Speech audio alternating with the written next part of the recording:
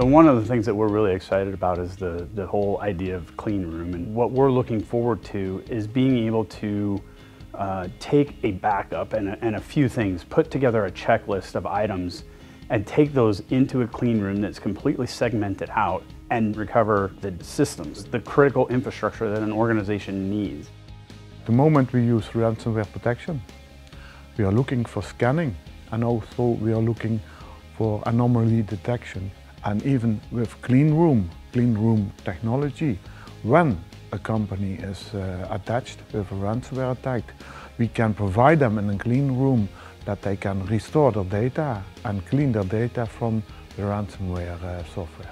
Over the last few years we have seen a tremendous investment in the addition of new capabilities inside uh, of the software, ThreatWise, uh, threat scan and risk analysis more and more tools are coming to, to, to scan the environment, to scan the backup if it is ransomware detected.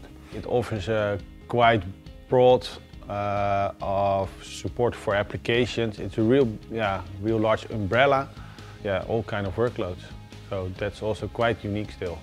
With today's ransomware threats, you can get locked out easily, right? With an air gap system and a few small items in a clean room, we can test to see what your recoverability is. That offers you two things that I think are really important in today's age. One is it gives you confidence that you can do it, right? The first time you're gonna fail. You're going to fail. Well, would you rather fail when you're testing it, or would you rather fail when you're, uh, you know, when it's cr mission critical and you're trying to get your, your, your organization back online?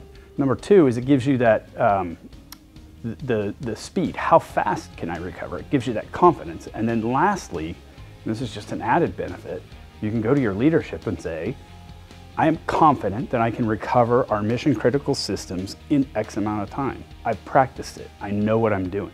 Not too many people can say that today.